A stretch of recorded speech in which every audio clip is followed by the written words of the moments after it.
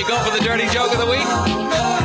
I knew you could. 96 GICFM 720. Dirty joke of the week. How come Santa doesn't have any kids? The punchline is available only at this number 247.